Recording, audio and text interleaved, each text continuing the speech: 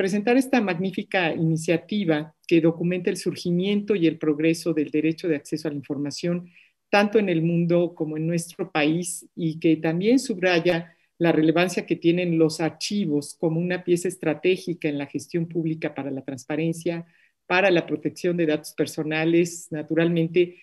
la rendición de cuentas, la memoria histórica y los derechos a la verdad y la justicia son necesarios y convenientes en toda sociedad que se precie de ser democrática y de tener justamente en sus memorias estos avances tan relevantes en materia de derechos humanos el INAI y el Sistema Nacional de Transparencia, buscamos coadyuvar